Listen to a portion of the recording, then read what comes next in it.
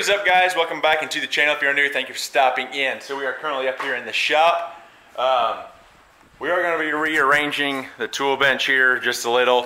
Um, obviously it's really messy. I have tools over there. That little cabinet down, let me zoom in. That little black and clear one right down there has all like the power tools, um, impacts, um, all this type of stuff that needs a place. So we went to Harbor Freight and bought the 26 inch US General top storage there. So I got orange just because my box here is black, but I do have my Allis-Chalmers decal on the side because that's all we run here on the farm. So I wanted to kind of break it up a little bit. So we're gonna get getting this cleaned up, get all that stuff off. Only bad thing is once I throw that on top, we're gonna be about an inch too tall um, here height-wise to slide it underneath. So this is going to be just kind of a roll-around style toolbox now. We'll have to put something else there. But at least I'll be able to stick like my screwdrivers and get all like the pliers and stuff up in that, which would free this stuff up for um, my power tools and it actually free up that bin over there to allow us to put something else in there just to kind of clean up the shop a little bit. So I'm gonna go ahead and get these straps cut on this thing. Actually, I probably won't even have to cut them. I should just slide right, perfect.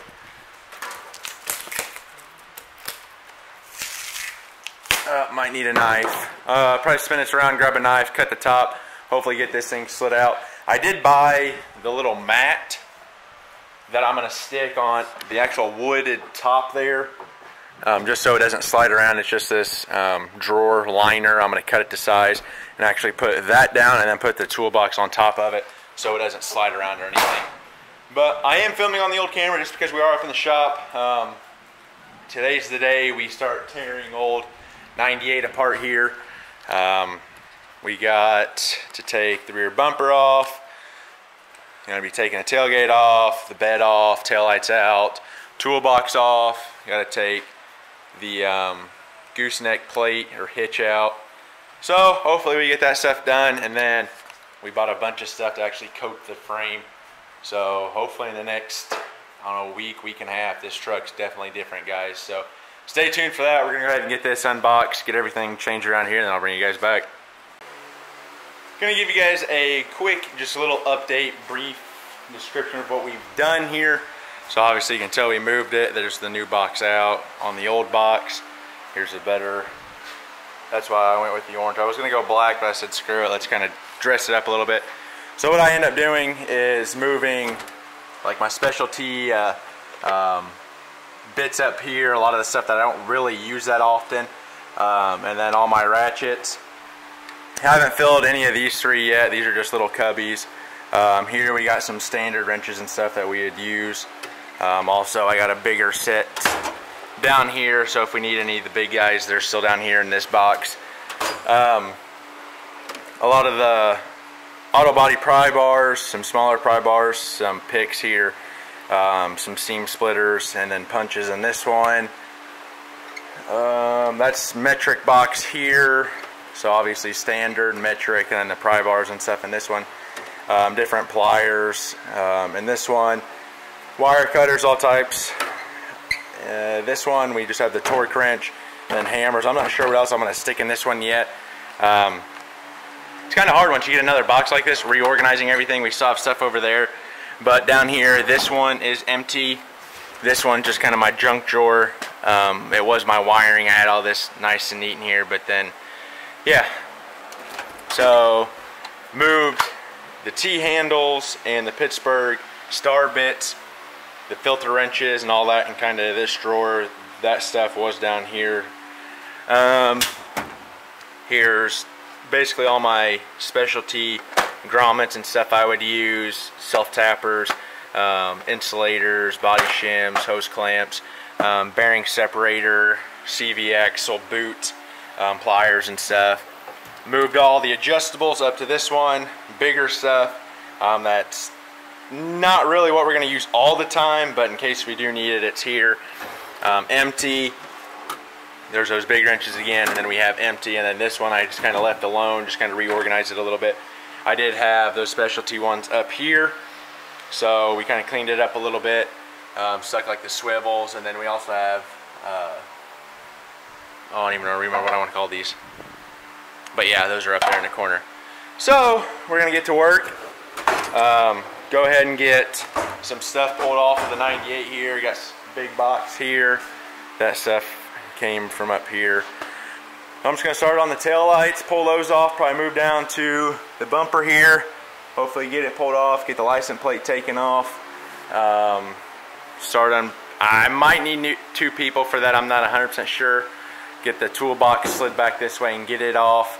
Um, we'll get over here, get the uh, fuel door undone, ready to come off.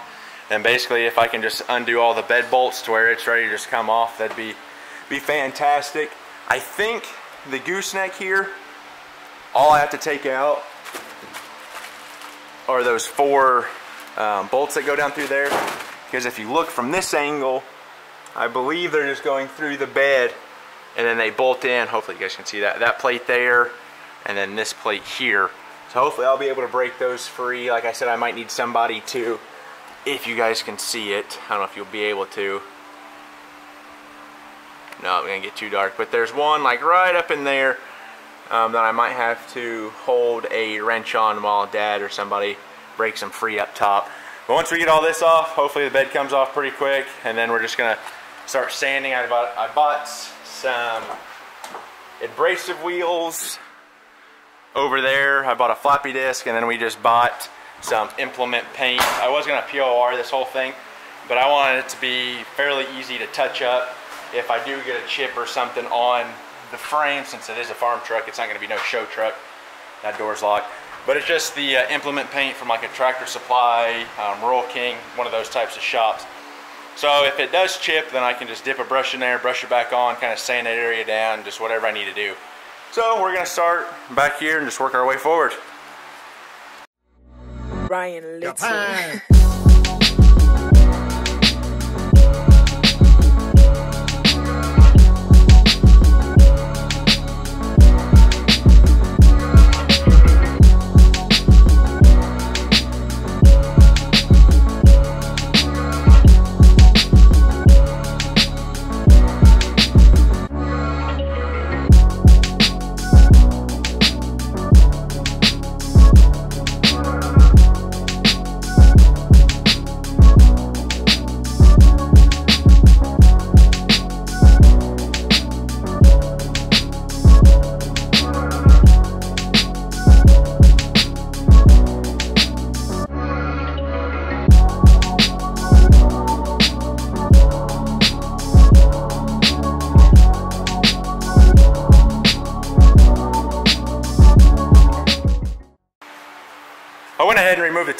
just make it a little bit easier to get in here.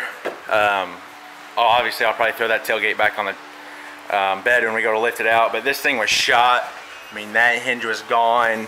This one's all gone. This tailgate barely even worked. You had to lift up the handle and pull over on the little lever here. And then to shut it, you had to lift with this. It, I mean, it was just a mess. So we're going to move on to the bumper. Um, I don't think there's too many bolts in this thing if I remember correctly. Now there's a couple here. Um, I do have some wiring that I'm gonna have to fish out here from when I put in these reverse lights. Here, I'll probably just tuck down. I did splice in, so I got new um, wiring harness for the rear, rear tail lights.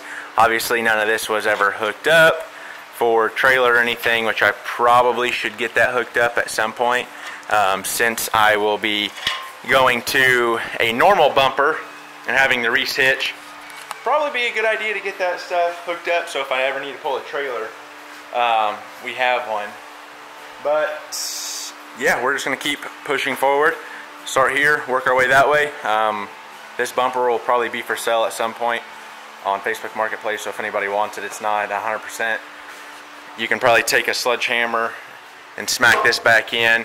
Um, there's a piece somewhere that come undone. I believe, yeah, right here. It's got to go back forward to that hole. So like I said, you can probably beat it forward. If you have an old farm truck, I'll probably put like a hundred bucks on it. Cause I mean, there is some weight here. This thing's not light. I dropped it on my foot when I was going to put it on there. um, probably three, four years ago. So yeah, we're gonna keep working.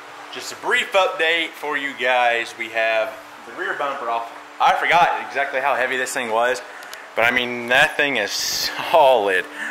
Um, it's not rusted out. It does have, I did kind of beat that back in and then a small dent here, but I mean, there's no way I'd be able to lift this by myself. Um, that, and then we started undoing everything else. Tail lights are out, tailgate's off, you guys seen that. For my gooseneck, we had the um, plug in here. Well, I couldn't figure out how to get this piece off. I took out a screw there and a screw there, hoping this front cap would slide off, but that didn't do it. I took out a set screw there, thinking maybe this was a plug-in. Well, that didn't do it. Um, there's a screw in there, and I was like, I don't really want to take it off. So I just, since the bed's going to be junk, I cut that hole a little bit bigger and snaked it through. So now we're just going to move on to hopefully breaking some of these bed bolts loose. Um, you can tell this cross member here on the frame's a little, little rough, so we might end up redoing that. Um, but everything else I think is pretty solid underneath here. It's got some flakiness, some dirt and stuff, but no big deal. We'll back it out and pressure wash it off before we spray it down um, and coat everything. But other than that, we're moving along slowly but surely. Um, like I said, we're going to try and work on those bed bolts. Hopefully, fingers crossed, everything will break free. Sorry, I'm pretty sure I just pointed the camera at the ceiling. Hopefully, everything breaks free. Uh, I don't know if I'm to set the camera up down underneath there just because I don't want it to be covered in dirt and stuff. Um, I might set it up out here, but we'll see.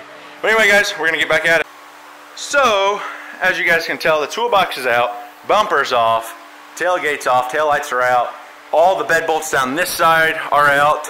All of them besides one, and it's the one that sits, let me just zoom in for you real quick. The one that's, so you see the leaf spring hanger right here where my finger is? This one right above that. So you can't get anything in there. So what I did on that side, I cut a hole in the floor, took our little propane torch wherever it went, I think it's over there on the table, heated the bolt up, and uh, I just basically got it red hot. Oh, there's the torch I was talking about, the little one. Uh, I just got it red hot, climbed underneath with the extension or extendable ratchet and the socket there, and I eventually got it to break free. So I'm gonna hopefully do that on the other side without cutting the hole in the floor. I'm hoping I can just heat it up right up in there, get it red hot, and then be able to just work it free. That's the plan. It's kind of hard to film underneath there just because it is so dark. I tried to set the camera up on the other side, but you guys couldn't see anything at all. Because by the time you're down here, yeah, you can't see anything. So I'm gonna get this broken free, and all we have left is those four bolts and taking the filler neck off, which is filler neck shouldn't be too bad. I think it's three or four bolts. Um, because I changed this once already. So one, two, and this one up here is three.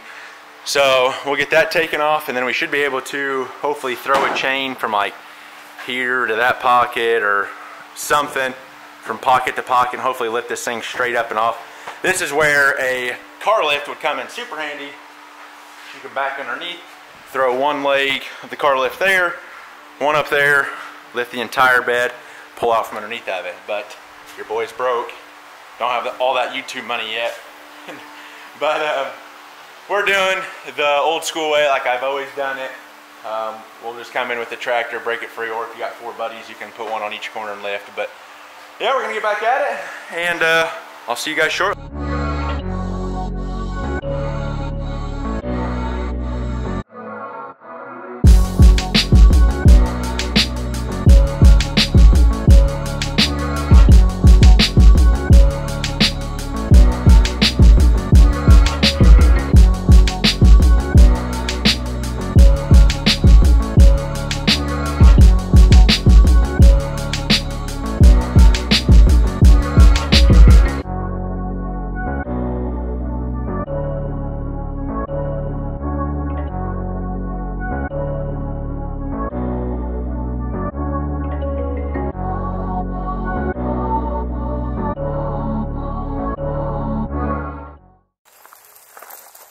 The truck bed is off. Hopefully you guys could see that all right. Thank you to my brother and my dad for helping me flip this thing off. It was definitely a uh, kind of pain in the butt. Um, the frame's not in as bad a shape as I was expecting it to be. I mean, you get your typical like um, just flakiness and stuff. And then like here on the side, obviously it's been painted a couple times. But the gooseneck hitch is in really good shape. Um, the only really rusty spots are here. It's supposed to be like the other side. And uh, where the spare tire would have mounted, um, this like where the keyhole I would suppose goes through there, it's kind of rusted and twisted. And then this front frame, hopefully you guys can see that right there is cracked a little bit. And then right there's a little hole started. But nothing too major. Um, you can see GM's coating there. Plan is to hopefully get this all washed tomorrow. Um, start sanding on it tomorrow. And then we have some surprises coming for it. Um, it will be going to Chad's, like I said, for the uh, rocker panel and cab corners. we will be taking these off and throwing airbags on. Um, we have new shocks and stuff coming. So it's a lot, just going to be a lot of sanding here in the next day or so. And then uh, here's the tractor paint I was talking about a while ago that I got. Just this implement gloss black implement paint, um, oil base. I just wanted something so if it does does get chipped, I can touch it up real quick.